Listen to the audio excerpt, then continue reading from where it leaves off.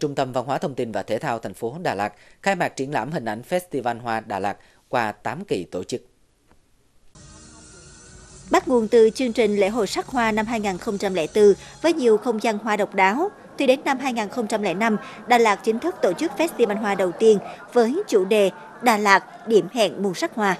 Đến nay, Đà Lạt đã trải qua 9 kỳ festival với nhiều chủ đề khác nhau và qua mỗi kỳ đều không ngừng đổi mới, hấp dẫn. Điều này được thể hiện rõ nét trong bộ sưu tập của hơn 100 tác phẩm ảnh về các chương trình, hoạt động chính của 8 kỳ festival trước tại triển lãm ảnh lần này.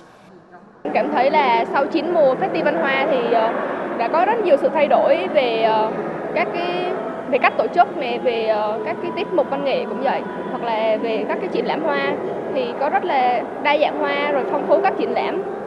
con cảm thấy rất là vui khi được tham gia triển lãm này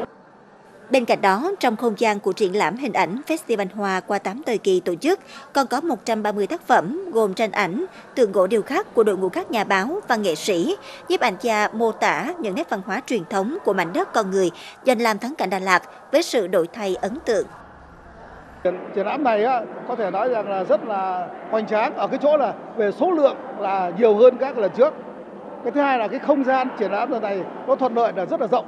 Nó lại ở gắn với quảng trường cho nên là được đông đảo công chúng đến ờ, ờ, tham quan triển lãm. Và tôi ờ, đi xem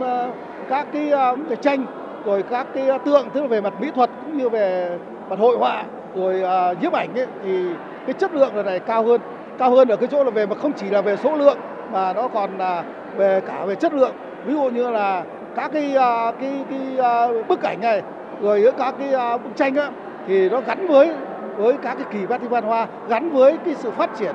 của kinh tế xã hội ở Đà Lạt. Đây là một cái sự sưu tập hết rất là công phu, có sự chuẩn bị kỹ lưỡng, chu đáo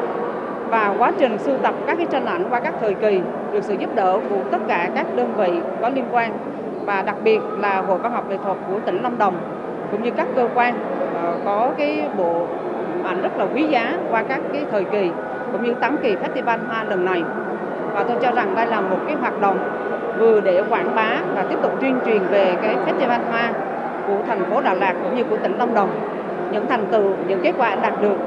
và cũng như để cho công chúng, nhân dân và du khách cũng có cái điều kiện để nhìn nhận lại những cái thành tựu và những cái kết quả hết sức nổi bật đầy ấn tượng qua bộ ảnh triển lãm 8 kỳ của Festival Hoa Đà Lạt lần này và đặc biệt là gắn với cái hoạt động chào mừng Festival Hoa Đà Lạt lần thứ 9 năm 2022.